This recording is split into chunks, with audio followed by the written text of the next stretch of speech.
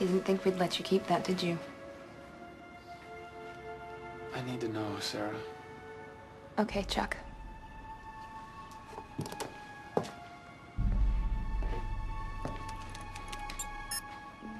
Test subject 0326, Bartowski. This will be his first interview.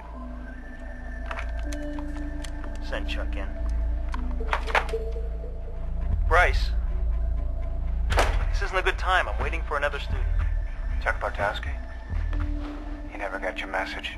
What are you talking about? You put Chuck on the CIA recruitment track. It's not up to me, Bryce, but they want him for the Omaha project. It's a military operation. They'll turn Chuck I'm into... required to send all the top test results to the agency. I want my friend out of this. He's a... Keywords in his essay responses correlate to 98% of the subliminal images in the exam. You don't get it. Chuck's a good person. He's got too much heart for this kind of work. He's no operative. You can't put him out in the field. He won't survive. The agency is not going to let go of a recruit this promising. The amount of information he can retain, They're not going to give him a choice. he's in no matter what.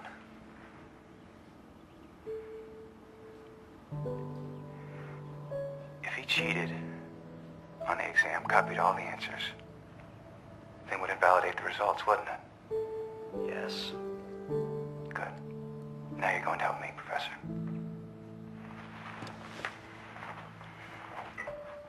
Bryce framed me for cheating to save me. Why didn't he just tell me that to begin with? He couldn't. They had already recruited him. Well, look, if he had a good reason for getting me kicked out, maybe he had a good reason to break into the Intersect, too. And maybe he had a good reason for sending it to you. I just wish I could talk to him. Must have tore him up to not be able to tell me.